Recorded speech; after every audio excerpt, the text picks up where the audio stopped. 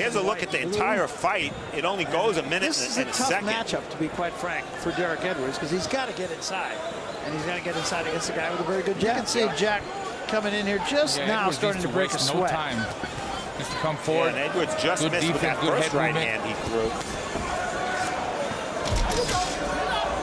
Amateur experience couldn't be more different. Again, the right hand. Edwards was zeroing in with that right hand from the very beginning. That's for sure. That's the punch he was looking for.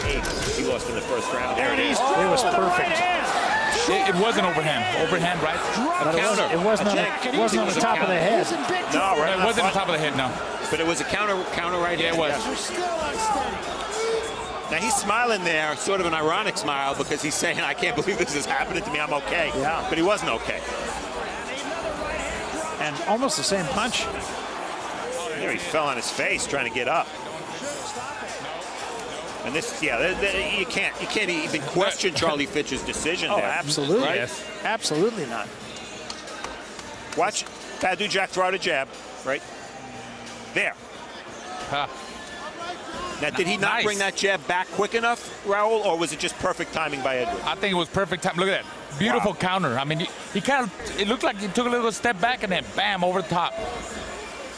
Beautiful counter by Edwards. One more There time. Wow, he did walk into that shot, didn't he? He did, but it was perfectly timed. He could he could actually stop the fight after the first knockdown. You said the fight was over after Yeah, the first knockdown. yeah. Basically, you were right.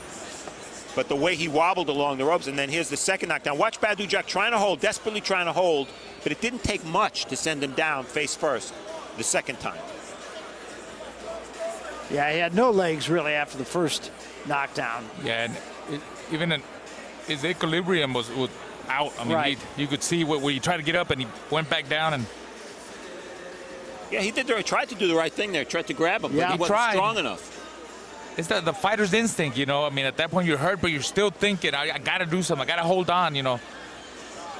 Tough loss for uh, Badou Jack. Uh, huge step backward for him. He had been moved so smartly, taking the small steps up the ladder. And we talked about him having an elimination bout with James DeGale, who fights tomorrow night in England. Uh, there won't be an elimination bout involving Badou Jack. There'll be